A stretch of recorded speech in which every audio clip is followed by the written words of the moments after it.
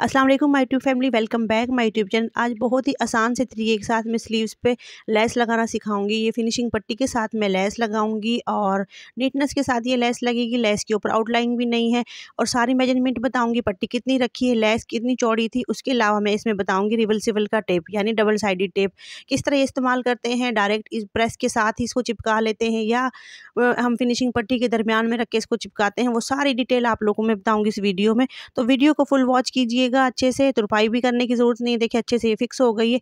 Video को full watch कर लीजिएगा चैनल को कर लीजिएगा। सब्सक्राइब अगर मेरे चैनल पर नए हैं तो सबसे पहले मैंने लेस ली है, बहुत ही प्यारी है, मिल्की लेस है। ऑफ़ वाइट कलर की थी, इसको मैंने डाई करवाया है सेम कपड़े के कलर का ही। उसके बाद मैंने ये ली है फिनिशिंग पट्टी।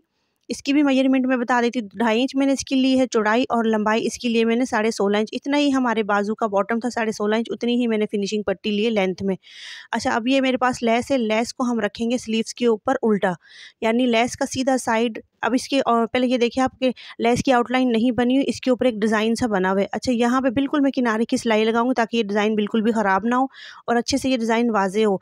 इस तरह की लेस जब भी ये डिज़ाइन वाली हो तो उसको हमें इस तरीके के साथ लगाना चाहिए ताकि ये डिज़ाइन बिल्कुल भी ख़राब ना हो। पट्टी खींच के इसलिए दिखा रही हूँ, आज मैं आड़े रुख की पट्टी यूज़ कर रही हूँ, सीधे साइड का कपड़ा मेरे पास नहीं था तो अगर कोई ऐसे हो जाए आपके पास सीधे साइड कपड़ा नहीं है तो आप आड़े रुख की भी पट्टी इस्तेमाल कर सकते हैं। वो भी आज की वीडियो में बताऊँगी, ये भी फिनिशिंग के साथ ही लगती है।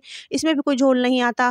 तकरीबन मैंने हाफ़ इंच पट्टी को फोल्ड कर लिया था और उसके बाद देखिए, इसी को फोल्डिंग करते हुए मैं इस पर बिल्कुल किनारे की लगाऊँगी सिलाई। अच्छा लेस मैंने किस तरह रखी है? लेस रखी है मैंने उल्टी। ठीक है फिनिशिंग पट्टी रखी है, सीधी और स्लीव्स भी रखा है हमने, सीधा स्लीव्स का कपड़ा जो है। अब बाजू का कपड़ा सीधा और लेस का सीधा साइड, उन दोनों को आपस में हमने अटैच कर दिया है और उसके ऊपर फिनिशिंग पट्टी आ गई सीधी, क्योंकि वो हमारी बैक साइड पे टर्न हो जाएगी। तो बिल्कुल किनारे की ही इस पर सिलाई लग रही है, डिटेल के साथ इसलिए बता रही हूँ कि बिगनर्स मेरी वीडियो बहुत डिटेल के साथ देखते हैं और उनको बहुत कुछ सीखने को मिलता है। तो एक एक पॉइंट में डिटेल से बताती हूँ। इससे पहले भी मैं अपनी वीडियोज़ में डिटेल के साथ ही बता चुकी हूँ और नेक्स्ट भी इन मैं इसी तरह ही डिटेल आप लोग को देती रहूँगी और आप मेरी वीडियो से बहुत कुछ सीखेंगे। तो इस तरह से हम धागे को कट कर लेंगे अच्छे से। बिगनर्स को ये भी मैं ज़रूर बताऊँगी कि धागे पहले, सबसे पहले हमें कट करने चाहिए नीटनेस के साथ, क्योंकि जब तक फिनिशिंग हमारे हाथ में तभी आती है जब हम अच्छे से नीट करते हैं किसी भी चीज़ को। देखें, बिल्कुल इक्वल साइज़ में ही मैंने इसकी आउटलाइन को दबाया है और ये मेरे पास है फिनिशिंग पट्टी का कपड़ा। इसको अच्छे से मैं इस पर शावर करते हुए अच्छे से लगाऊँगी प्रेस क्योंकि इस पर हल्की सी हुई है एम्ब्रॉयडरी एम्ब्रॉयडरी जब तक आप शावर नहीं करेंगी, नीट बिल्कुल भी नहीं आएगी। तो इस तरह से मैंने शावर कर लिया और पट्टी को सीधी साइड पे ही, उल्टी साइड पे टर्न करके और स्लीव्स के सीधी साइड में मैं अच्छे से लगाऊँगी पहले प्रेस जब भी हम लेस लगाते तो हमें पहले सीधी साइड पे ही प्रेस लगानी चाहिए। बाद में उल्टी साइड पे हम प्रेस लगाएँगे ताकि एक दफ़ा लेस के साथ जो एक्स्ट्रा कपड़ा है, वो लेस के ऊपर ही प्रेस ना हो जाए, उसकी क्रीज लाइन ना बन जाए। क्योंकि हमें जितना कपड़ा सिलाई में लिया है, वो अच्छे से बैक पीछे को जाना चाहिए। इस तरह हमें प्रेस लगानी चाहिए ताकि लेस के बिल्कुल जो उसके ऊपर डिज़ाइन बना, वो प्रॉपर एक नज़र आए। अच्छा बैक साइड से मैं शावर लगाते हुए फिनिशिंग पट्टी पर इसी तरह ही अच्छे से लगा लूँगी प्रेस। अब इसको मैं फ़ोल्ड कर लूँगी। हाफ़ इंच तकरीबन नीचे को मैं फ़ोल्ड कर दूँगी और उसके बाद मैं इसकी मेज़रमेंट बताऊँगी कि टोटल पट्टी की अब जो मेरे पास तैयार होने के बाद जो चौड़ाई बची है वो कितनी बची है। ये जो इसके बाद पट्टी की चौड़ाई जो मेरे पास अब बची है वो एक इंच और तीन पॉइंट मेरे पास ये रह गई है, यानी कि डेढ़ इंच से भी ये कम है ना। अब इस पर देखिए आप तुरपाई कर सकते हैं, सिलाई लगा सकते हैं, जो आपको ठीक लगे हो लेकिन आज मैं आप लोग के साथ बहुत ही अच्छी सी चीज़ बताऊँगी कि ये कैसे इस्तेमाल कर सकते हैं। इसको रिवर्सिबल टेप भी बोलते हैं, डबल साइडेड टेप भी बोलते हैं। मैंने तो ये ऑफलाइन लिए, इधर ही हमारे सिटी से ही मिल गई थी, लेकिन ये द्रास पे भी अवेलेबल है। थ्री फिफ्टी इसकी प्राइस है, आप वहाँ से भी मंगवा सकते हैं। ये काफ़ी सारी होती है। मैं काफ़ी दफ़ा यूज़ भी कर चुकी हूँ और अब भी देखे, बहुत सारी अभी मेरे पास है। अच्छा जितनी ये स्लीव्स मेरी लंबाई में थी, उतनी ही मैंने कट कर लिया है और फिनिशिंग पट्टी को हल्का सा ऊपर को उठाया है और उसके बीच में बिल्कुल मैंने सेट करके किनारी पे ही रख लूँगी ना।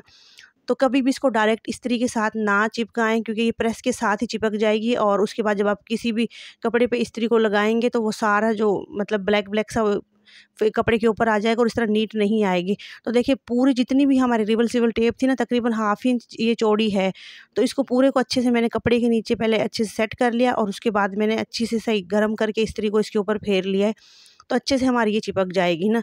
तो ये छोटी छोटी चीज़ें होती है जो आप लोगों को ख्याल रखनी होती है। जब तक हम एक पूरी प्रॉपर वीडियो नहीं देखते, हमें नहीं पता चलता उस चीज़ के इस्तेमाल का। तो वीडियो को फुल वॉच किया करें ताकि आप लोगों को हर चीज़ बनानी आसानी के साथ आ जाए। तो देखिए, इस तरह से मैंने प्रॉपर एक अच्छे से हीट करके प्रेस को अच्छे से इसके ऊपर प्रेस कर लिया है और देखिए, अब बिल्कुल भी नहीं उतरेगी। आप इसको वॉश करें, जो भी करें, ये नहीं उतरेगी।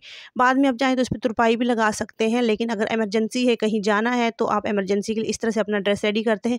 ये चौक पे भी लग जाती है, चौक को फोल्डिंग करने के लिए, दामन को भी फोल्ड कर सकते हैं। उसके अलावा आप ट्राउज़र पर भी इसी तरह लेस लगाएँ। उसको भी आप फिनिशिंग पट्टी को, नीचे को रिवर्सिबल टेप के साथ अच्छे से फोल्ड कर सकते हैं। अच्छा जो मैंने अभी स्लीव्स के बॉटम पे ये लेस लगाई है यही तरीका आप दामन और चौक, उसके अलावा ट्राउज़र पे भी सेम तरीके को फॉलो कर सकते हैं। बहुत ही डिटेल में मैं आज आप लोगों के साथ ये फिनिशिंग पट्टी के साथ स्लीव्स पे लेस लगाना बता रही हूँ। तो इसी तरह अगर आप भी लगाएँगे तो इतने ही नीटनेस के साथ लगे, जितनी नीटनेस के साथ अभी आप लोग को नज़र है चाहे ये बिगनर ही क्यों ना हो, लेकिन फ़र्स्ट टाइम में जब हम अच्छे से काम करेंगे तो हमारी नीटनेस और काम में सफ़ाई बहुत अच्छे से आ जाएगी। तो ये देखिए कुछ इस तरह से लग के तैयार हुई है और फुल लुक इस स्लीव्स की कुछ इस तरह से आएगी पहनने के बाद। स्लीव्स भी तो मैंने काफ़ी इस पर चौड़े वाली ली है, बारीक लेस नहीं इसमें यूज़ की सॉरी स्लीव्स नहीं, मैं इस लेस का ज़िक्र कर रही हूँ कि लेस जो हमने ली है वो काफ़ी चौड़े वाली ली है। तो एम्ब्रॉयड हमारा फुल ड्रेस है उसके साथ मैंने फिर ये लेस भी थोड़ी सी चौड़ी रखी है तो बहुत ही खूबसूरत लग रही है। और वैसे भी आजकल तो चौड़ी लेसें ट्रेंडिंग पे जा रही हैं, चौक्स पे भी लग रही हैं, दामन पे भी लग रही हैं, स्लीव्स पे भी लग रही हैं। इंशाल्लाह बहुत जल्द मैं आप लोग के साथ चौक पे भी चौड़ी लेस का एक डिज़ाइन शेयर करूँगी, बहुत ही आसान से तरीके के साथ, ना। तो इसी तरह की मज़े मज़े की वीडियो देखने के लिए मेरे चैनल को ज़रूर सब्सक्राइब कर लीजिएगा और बेल आइकन भी प्रेस कर लीजिएगा, ताकि मेरी इसी तरह की वीडियो का नोटिफिकेशन आपको मिलता रहे। मैं फिर आऊँगी नई वीडियो के साथ, नए डिज़ाइन के साथ। अल्लाह हाफि